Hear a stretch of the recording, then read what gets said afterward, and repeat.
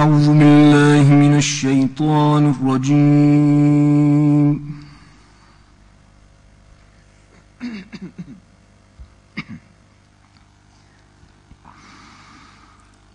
بسم الله الرحمن الرحيم.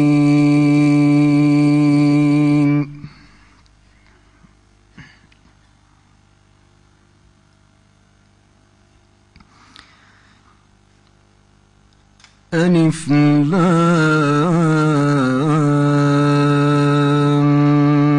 ميم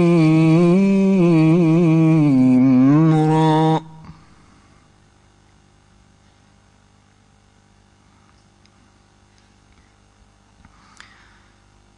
تلك آيات الكتاب.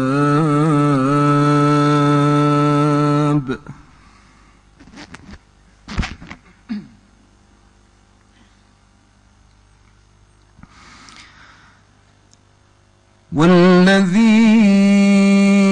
أنزل إليك من ربك الحق ولكن أكثر الناس لا يؤمنون.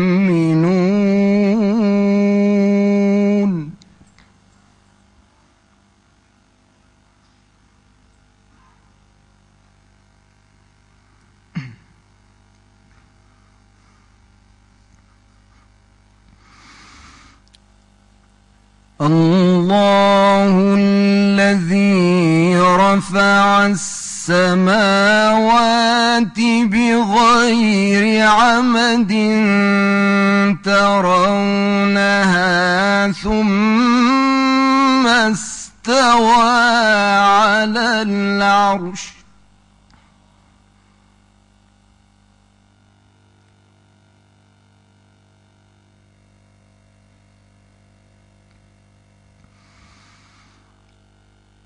وسخر الشمس والقمر كل يجري لأجل مسمى.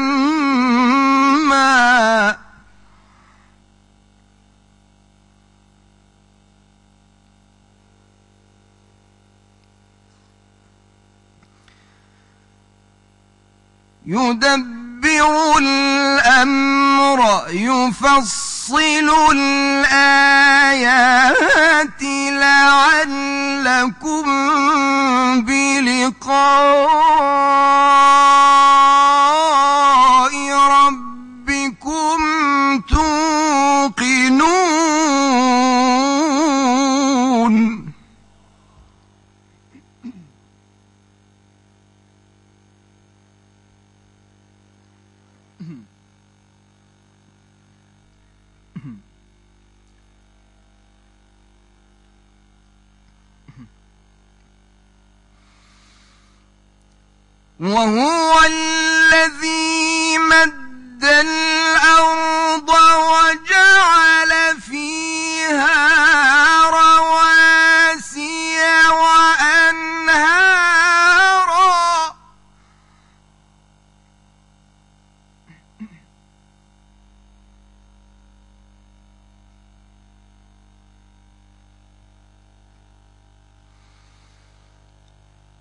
ومن كل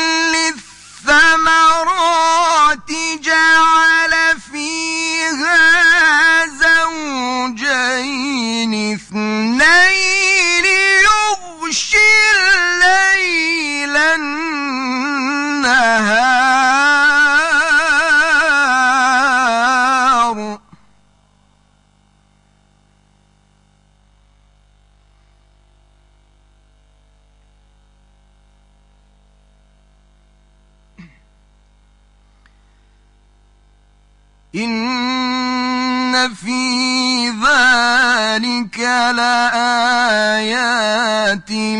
لقوم يتفكرون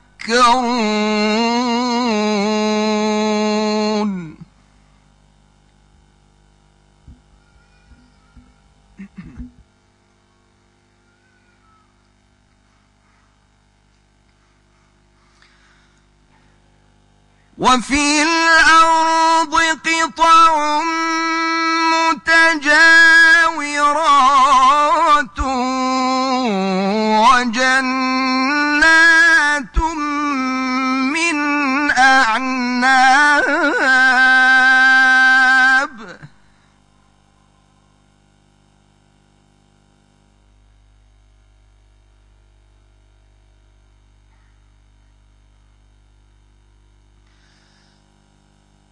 وجنات من أعناب وزرع ونخيل صنوان وغير صنوان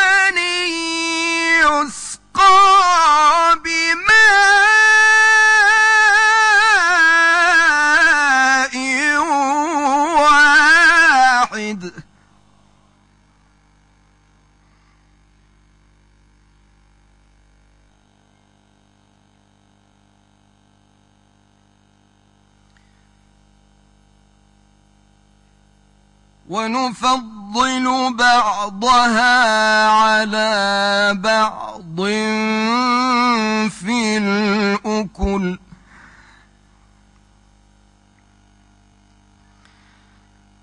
إن في ذلك لآيات لقوم يعقلون.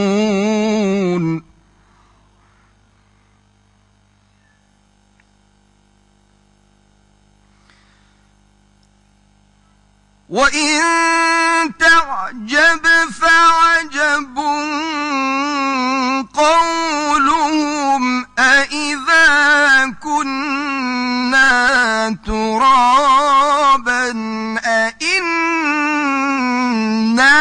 لفي خلق جديد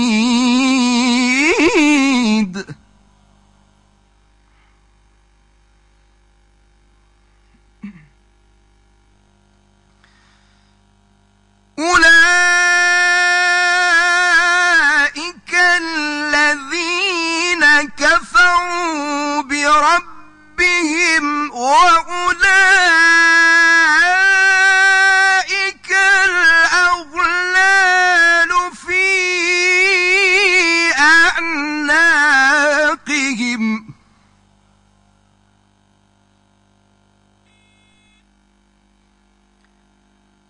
وأولئك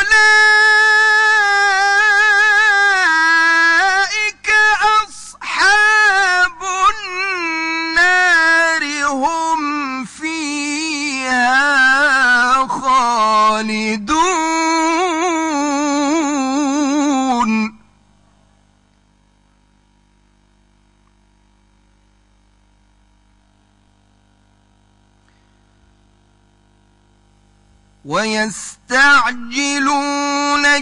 بالسيئة قبل الحسنة وقد خلت من قبلهم المثلات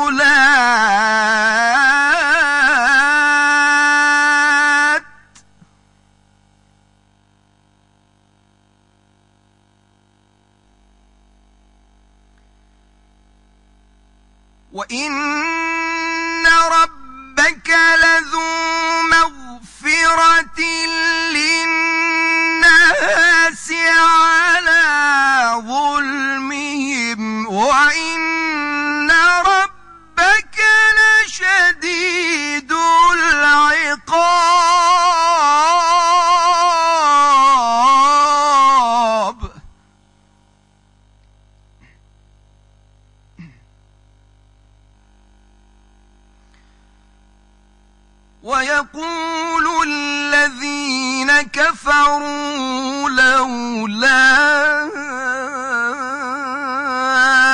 أنزل عليه آية من ربه.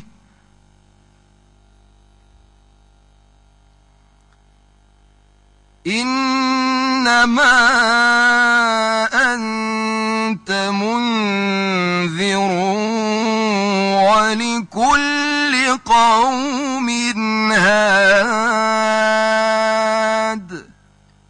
صدق الله العلي العظيم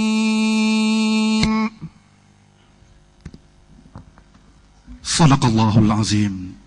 Demikian dari saudara bacaan ayat-ayat suci Al-Quranul Karim yang telah disampaikan oleh Encik Amin Buya bin Amir yang mewakili negara Iran. وهكذا أيها السادة الكرام لقد استمعنا قبل قليل إلى التلاوة المباركة من آية ذكر الحكيم تلاها علينا القارئ السيد أمين بويا بن أمير المشارك من الجمهورية الإسلامية الإيرانية Saudara, antara tanda-tanda kebesaran Allah Subhanahu wa taala ialah penciptaan langit, bumi, bulan dan matahari serta apa yang ada di alam ini. Kesemua ciptaan Allah Subhanahu wa taala itu membuktikan kekuasaannya yang maha agung. Hakikat ini jelas memberi keyakinan kepada kita bahawa hanya Allah yang layak disembah dan dialah yang akan memberikan balasan atas setiap apa yang kita lakukan di dunia ini. Justru itu saudara, umat Islam disaran mengkaji dan meneliti kejadian alam ini bagi mencari rahsia dan pengajaran yang terdapat di sebalik penciptaan tersebut.